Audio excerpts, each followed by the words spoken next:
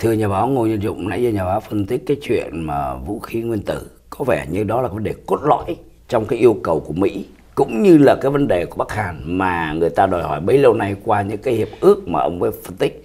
Thế bây giờ câu hỏi rất đơn giản và rất quan trọng mà nhiều người trên thế giới muốn biết liệu ông Kim có thật sự giải giới vũ khí nguyên tử hay không trong tương lai? Ờ, cái này cái này nên hỏi tổng thống Trump bởi vì ông bảo là chắc chắn ông Kim sẽ thì ông cứ nói như vậy nhưng mà à. theo ông thì bây, bây giờ không không biết bởi biết ông Trump ông có giải giới không thì không biết được nhưng mà nó nằm ở trong tay ông Kim liệu ông Kim có giải giới hay không? À, bây giờ mình chỉ làm cách gọi là suy bụng ta ra bụng người. Dạ. Okay. giả thử tôi là ông Kim ấy vâng. thì tôi có giải giới hay không? Vâng. Giả thử ông Đỗ Dũng là Kim Jong Un thì ông có giải giới hay dạ không? thưa không? Tại sao vậy? Cả cuộc đời tôi bao nhiêu đời ba đời ông nội tôi bố tôi với tôi cái là cái là hy sinh làm những chuyện này mà cái chuyện này nhiều người ta thấy rằng là dân tôi, tôi còn bỏ đói chứ tôi không bỏ để bởi cái này bảo vệ chế độ tôi. Và nó nhiều hơn tôi bỏ là tôi coi như tôi tự sát. Vâng. Thì đó đó là theo suy nghĩ của tôi không biết là ông ông kim nhân dụng này thì như thế nào. Thì, thì tôi tôi cũng đồng ý như vậy là rất khó mà Kim Jong Un xóa bỏ cái vũ khí nguyên tử. Nghĩa là bao đời người ta lo cho dân chết đói nhưng mà phải làm cho bằng được bom nguyên tử là bởi vì tất cả chế độ đó là dựa trên cái đó vâng. cái kỳ này đó cái cuộc họp thượng đỉnh này đó khiến cho ông Kim càng thấy rằng không thể bỏ bom nguyên tử được đó bởi vì rằng nếu không làm bom nguyên tử à. thì không bao giờ có ngồi ngang với ông à. Trump được phải không nào đúng rồi đúng rồi nếu không phóng hỏa tiễn à. và cho cả thế giới thấy là à. hỏa tiễn này có thể bay tới Los Angeles à. thì làm sao mà có, có dịp ngồi với ông Trump à như vậy nếu mà bỏ tức là không có lần thứ hai ngồi với ông Trump không biết nhưng mà nếu tôi đã dùng một cái quân à, bài à. để tôi đạt được một cái thắng lợi vâng bây giờ anh bảo tôi là thôi vứt quân bài đi ừ. chui đi ừ.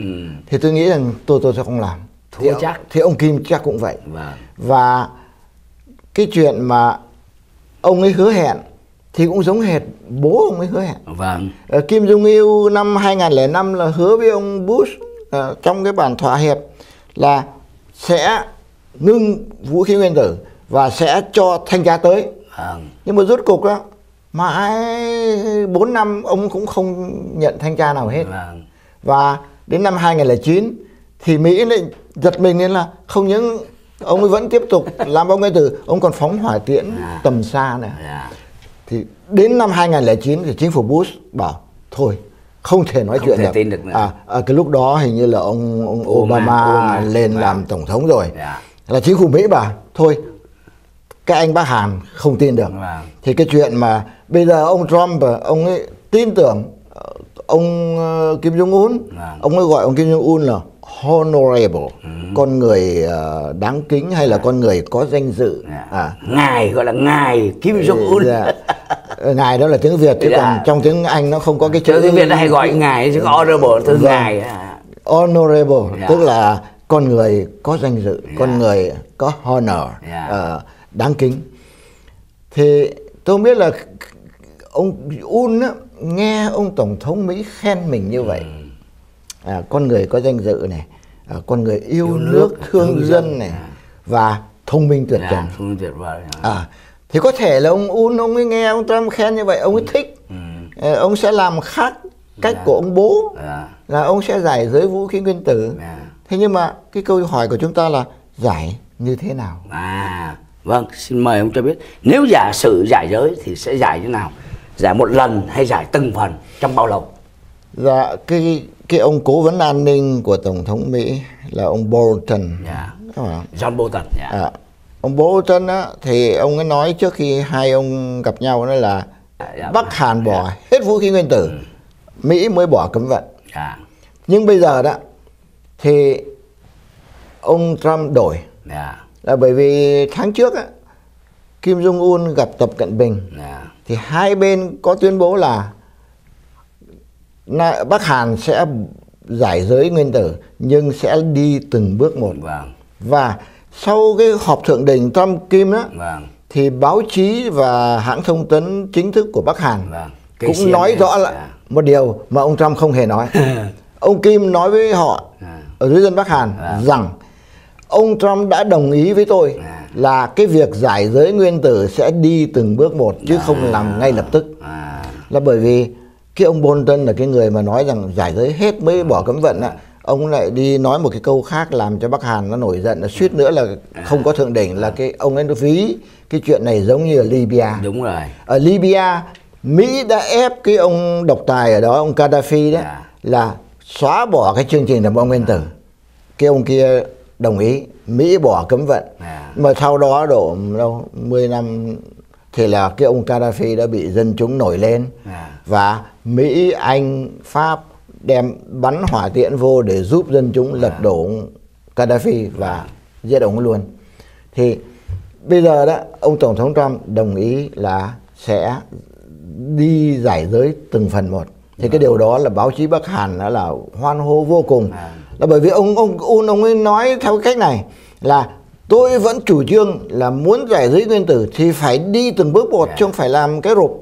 Vâng và ông ấy nói rõ thêm là phải có những bước đi song song Dạ, có nghĩa là bên này giải giới nguyên tử một phần nào thì bên kia giải bớt cái cấm vận phần Dạ. đó và cứ đi song song như vậy chúng ta không biết là cái con đường đi kéo dài bao nhiêu lâu Vâng.